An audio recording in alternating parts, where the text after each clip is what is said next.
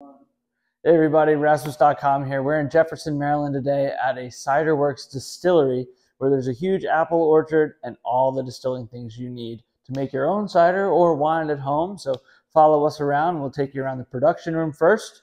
We've got our sorting table where we dump the apples, we sort them out, pick up the ones we want. This is a brush and pressure washer for the apples. Then they come through here with more brushes, up the elevator, get ground in mm-hmm. here into sort of an applesauce. The applesauce comes through a tube, gets placed on one of these trays. The trays get blanketed and covered and stacked. Then you slide them in here. The hydraulic press comes up, mashes the applesauce into liquid into here.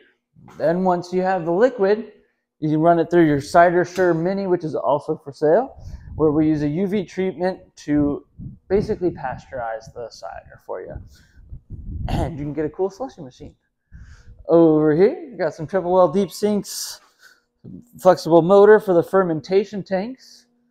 We've got six assorted size fermentation tanks over here, all the way from 575, 285, a couple 360s, and this is another 540 right here display refrigerator for your merchandise and cider. Quaint little gift shop with some pretty cool growlers. I mean, we've heard of these places before, right?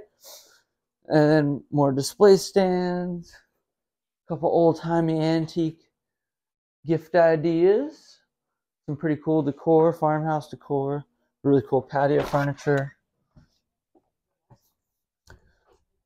Out here we've got some bright tanks and a tilting kettle, warehouse ladder, specialty orange trees that we're selling. Oh man, this looks like a truck I used to have. This is a 92 GMC extended bed of eight foot, single cab. Very nice, very clean looking V8, I believe. About 178,000 miles on it.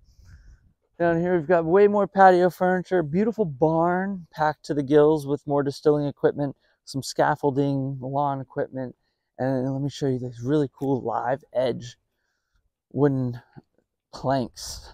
They've already been through the planer, but put them through one more time, get a nice finish on there. And then you can either use them for epoxy furniture or stain them however you like. So that's all today, folks. If you want to check us out, it's rasmus.com for all your bidding needs for the stuff you need at the price you set.